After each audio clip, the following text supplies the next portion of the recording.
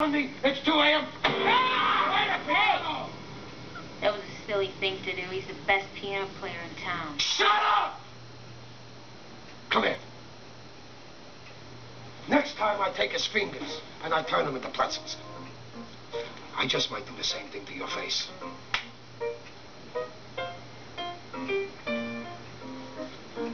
See? He's playing better already. Top we talk.